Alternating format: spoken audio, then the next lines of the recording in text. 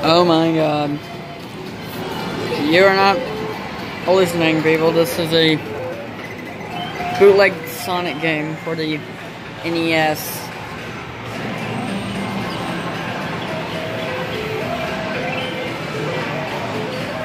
Oh my god.